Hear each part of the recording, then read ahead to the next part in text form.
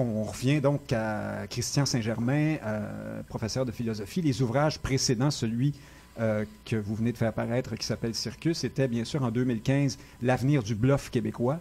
Euh, Est-ce que c'est un jeu de mots avec le bloc québécois? On s'en doute. un jeu de mots, je sais pas. Euh, moi, je ne voyais pas immédiatement ça comme un jeu de mots. Je pense que ça décrivait, la- Oui, oui. ça décrivait 40 ans de... plus large de, de, de d'Esbrouf, on Oui. y revient. Et euh, Le mal du Québec en 2016 et également ce très joli titre Naître colonisé en Amérique en 2017.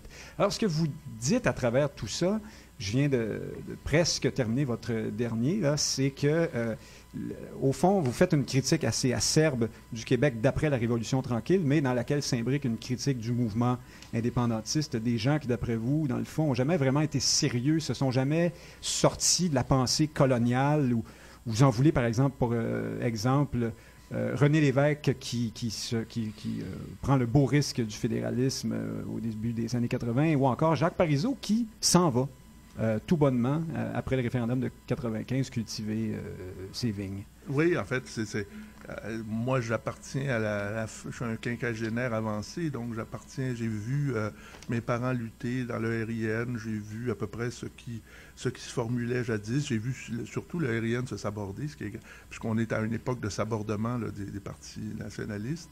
En fait, ça m'a pris quatre ouvrages pour comprendre que le nationalisme, c'est comme un symptôme bien plus que n- notre nationalisme à nous, la manière, à, à travers le souverainisme surtout, puis à travers l'autonomisme de type provincial, euh, dont le prix de consolation semble être la CAQ. Aujourd'hui, je vois mes amis nationalistes se réjouir quand même secrètement euh, ou discrètement, plus, euh, Plus ou moins discrètement. plus- ben, hein? je- c'est- Ouais. c'est chacun sa nature. là. Voilà. Mais euh, euh, la victoire, moi, ça me. Je vois dans le goût un transfuge. Je vois encore, de- comme, comme Lucien Bouchard était un transfuge des conservateurs. C'est-à-dire, l'idée, euh, pour moi, le grand drame, c'est que euh, être colonisé, c'est un, quelque chose qu'on ne veut jamais admettre. hein. C'est comme une sorte de, maladie honteuse. Et la Révolution tranquille ne nous a pas permis euh, de prendre. Puisque la Révolution tran- tranquille était exubérante, on construisait des barrages, on, on nationalisait ceci, on élargissait cela. Euh, on s'est fait à croire, on s'est, on comme disait ma mère, on s'est monté le bourrichon avec notre réalité politique et, euh, j'allais dire, euh, avec notre. On- n'a pas compris à quel point on était fragile en Amérique. Là, on le découvre, on voit le projet euh, partir dans toutes les directions, euh, certains diraient en eau de boudin. Euh, on, voit des, des, on voit des chefs qui sont des sortes de bureaucrates de la chose nationale, qui, veulent rep- qui voulaient reprendre la ronde de lait de la question nationale. On le voit encore au Bloc québécois à travers le- le- celui que j'appelle l'impresario, de manière si gentille, là, parce que en fait, ça aurait été mieux d'avoir Éric Lapointe comme chef, mais ça, euh, ça aurait, ça aurait sans doute attiré plus de monde. D'après l'impresario en question, il, euh, il ferait un très mauvais candidat. Je l'ai Ah, entendu ah bon, dire je, ça sur une je sais, mais en fait, il serait distrayant, tandis que l'impresario, je le trouve un peu obséquieux. Mais euh, Oui, j'ai bien aimé votre formule là, sur euh, ces, ces- ces manières langagières. Oui, c'est ça. le Mais il faut dire qu'il a, il a- il a traversé la vie intellectuelle avec Elsie, avec Yolande, à- au- donc ça donne quand même une certaine prestance. faut pas, Au Club des Ex, faut pas le diminuer. Mais, Donc, c'est euh, un diplômé du Club des Ex. oui, oui, c'est ça. Donc, euh, on, on est là-dedans. Euh, on est dans 60 ans plus tard, euh, pas 60 ans, 42 ans, depuis 76. Et j'ai comparé, dans le fond, la question du nationalisme euh, indép- euh, le- le- péquiste au, au stade olympique. C'est le stade olympique, c'est pas fini. On l'a, on l'a d'en face. Il nous coûte une fortune. On est pas, c'est une sorte de, c'est une sorte de chapelle ardente, le, le- le boulevard Pineuf. Là, on est, on se discute de mettre le toit. On se dit, on va-tu mettre le toit en 2021, un peu comme on discutait pour le référendum? Mettre le toit dans un second mandat? Ben oui, là, le toit sur le stade, c'est-à-dire qu'on est dans, avec quelque chose d'une grandiosité française qui a mal viré justement à cause des lavalins de ce monde-là. C'est-à-dire des, des bricoleurs ont dit Tasse-toi, t'as Hibert, nous autres, on, on- on va aller au, on va aller au marché à clous, puis on va te patenter, on va te patenter quelque chose. Ils sont partis que là, le, on- béton se faire des sous-sols à on est, Beaubriand. Avec un cénotaphe géant euh, qui n'est pas fini, qu'on peut même pas raser pour faire des parkings, parce que ça coûterait trop cher au plan écologique, ça serait catastrophique pour ceux qui, qui habitent alentour. On est pris avec ça, on peut pas le faire partir. Euh, Alors là, le- nos auditeurs vont voir le genre d'images qui sont dans, dans vos livres, et j'en ai d'autres ici. Vous parlez de, de- de- évidemment des résultats de 50 ans d'éducation gratuite. On va y revenir. Ça, c'est plus l'hé- l'héritage de la, Révolution tranquille à proprement parler. Mais euh, vous parlez d'un certain Fernandel qui aurait recommandé à la mairesse de Montréal de transformer le Mont-Royal en traverse à siffleux de UNESCO. Ça, c'est quand même très drôle.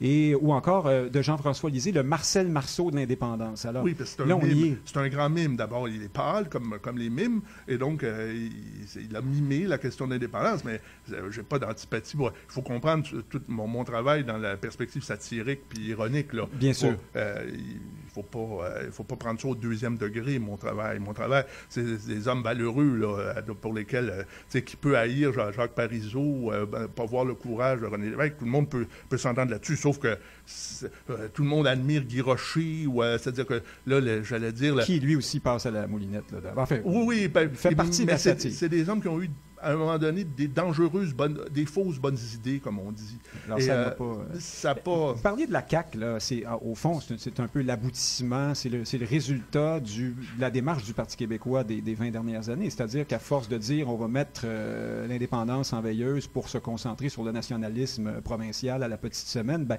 il y a quelqu'un, incidemment un ancien péquiste, qui a triomphé dans le Un transfuge, c'est ça, un péquiste repenti, comme on dit en droit criminel, c'est-à-dire quelqu'un qui, qui témoigne désormais pour le fédéralisme. Ça, c'est quand même mystérieux, parce que dans le fond, si on a été vraiment indépendantiste, je ne peux pas imaginer qu'on je peux imaginer qu'on passe de fédéralisme à indépendantisme, mais pour moi, l'inverse, euh, je sais qu'on est à l'époque de la réassignation euh, sexuelle, peut-être, mais euh, pour la politique, ça me semble plus difficile. Il y en a pourtant beaucoup avant lui qui l'ont fait, Jean Lapierre, ah Michel Gauthier. Oui, oui, oui, je sais Toute la gang qui était au, la première génération du Bloc. Ludwig Moquin-Baudry qui parle. oui, oui, oui. Il, y a, beaucoup de transfuges, mais ça donne l'idée de la fragilité de la, de la conviction indépendantiste. C'est-à-dire un indépendantiste qui n'est pas passé par euh, Franz Fanon ou Mémy, qui sont considérés comme des, vieux auteurs qu'on ne fréquente plus. Mais la décolonisation, c'est que euh, si tu veux décoloniser, il faut que tu fasses un travail sur toi. Et puis, euh, tu n'as pas un réflexe de perdant quand tu es décolonisé. Les réflexes de perdant dont je parle dans mes livres, c'est Parisot qui, lui, est au bord d'une victoire éclatante. il s'est fait voler le, référendum de 95. La seule chose qu'il trouve à faire, c'est de déserter puis de dire je m'en vais cultiver mes vignes. Et donc, le, le peuple attend depuis 200 ans derrière lui. Euh, c'est un, on n'imagine même pas ça. De Jean, imaginons, euh, faisons, euh, imaginons Jean Chrétien perdre à 50 000 votes.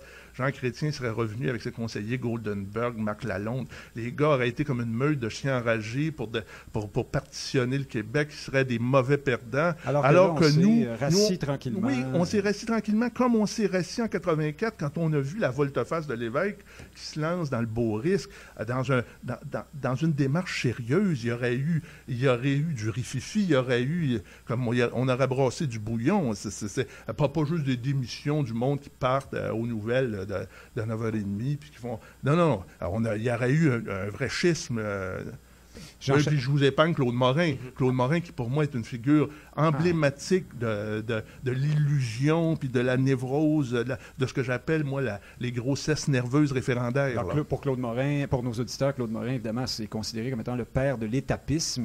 Plus spécifiquement, c'est celui qui a proposé qu'on attende à un référendum. Mais surtout, il s'appelait French Menuet pour la GRC. Pour la GRC, il était informateur. Il jouait comme ça, l'informateur secret de la GRC. On a découvert ça beaucoup plus tard, évidemment. non, non, c'est-à-dire que ce qui est fascinant, c'est que lui, lui qui était l'architecte de toute la stratégie de l'évêque, c'est un peu comme le Saint-Jean de Jésus. C'est l'apôtre que Jésus aimait, notre ami Claude. Une stratégie, par ailleurs, plus modérée que celle qui était aux origines du Parti oui, Oui, qui était dans la, dans, la fabulation pédagogique du PQ. Là. Aller euh, suivre le peuple où il est rendu, puis euh, euh, s'il nous dit si, on ne doit pas rien bouger. Puis, faut pas tirer sur la fleur pour la faire pousser. Exactement. C'était facile, c'était une, candeur absolue. Il faut qu'on passe à, Jean-Charles Duchâteau qui a une question, puis ensuite dévions vers le... on restons dans le Parti québécois, puisqu'on va en parler. Là. Ben, il y a beaucoup de choses avec le, beaucoup de choses dont vous dites avec lesquelles je suis d'accord, mais par contre, pour le, mouvement indépendantiste, c'est la vigueur, si on veut, du mouvement indépendantiste, l'appui au projet d'indépendance, c'est toujours aussi en fonction des, actions du Canada, des actions du fédéral. Hein. Euh, à chaque fois que l'indépendance a passé en haut de 50 dans les sondages, c'est à la suite d'une tape dans le visage, si vous me passez l'expression, du fédéral envers le Québec. La tape, elle est nécessaire. Si on, fait des études longitudinales sur l'opinion publique de l'appui à l'indépendance, ben c'est quand? C'est après les, les, les rejets de Meach, Charlottetown, c'est quand on a appris les scandales du camp du Nord en 95, toi après le scandale des commandites. Donc, ça prend la table du fédéral. Et, moi, je suis de, ceux qui croient que ben, c'est en... si les souverainistes veulent euh, que leur, euh, que leur que leur option reprenne la traction, si on veut, dans l'opinion publique, ils doivent confronter le fédéral constamment.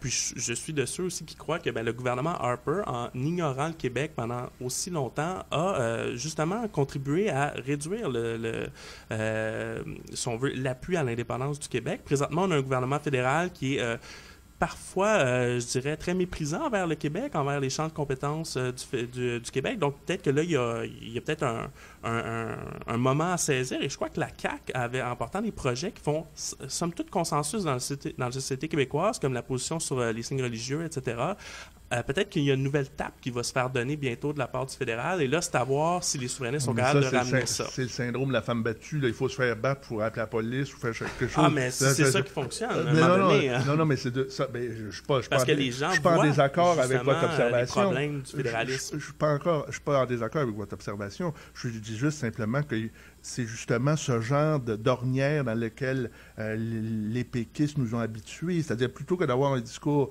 positif sur le nationalisme, c'est-à-dire réinventer, reconvoquer des poètes. Parce que moi, j'ai de la conviction aussi que le nationalisme, c'est pas une question... Il y a une question d'économie, bien sûr, mais ça, ça peut être démontré, contre-démontré. Il n'y a, pas de, il a pas de limite à ça. Euh, toutes les questions, là, vous, allez avoir, vous allez recevoir votre chèque plus vite avec nous autres. Il va y avoir ça. ça, ça pour moi, c'est très, très limité comme force Ou à la mode d'aujourd'hui, on va mieux protéger l'environnement. on va, ça, oui, oui, on va je sais pas, on, va classer nos déchets mieux par ordre alphabétique ou plutôt qu'en ordre inverse. Là.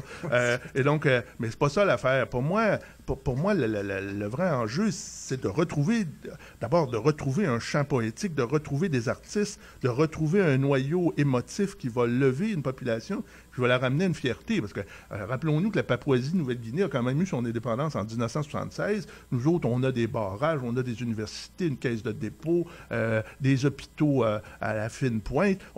Qu'est-ce qu'on attend? Euh, qu'est-ce qu'on attend pour être un pays normal? Euh, c'est ça qui est toujours... Euh, pourquoi on fait décider par d'autres des questions comme le statut de notre langue sur un territoire alors qu'on est sur une, peau de chagrin en Amérique? C'est ça notre... c'est ça pour moi l'affaire. Merci Christian Saint-Germain. Retenez votre souffle. On continue sur l'état des lieux dans le mouvement indépendantiste, la démission du caucus péquiste de Catherine Fournier, le livre de Jean-François Lisée, dans un instant.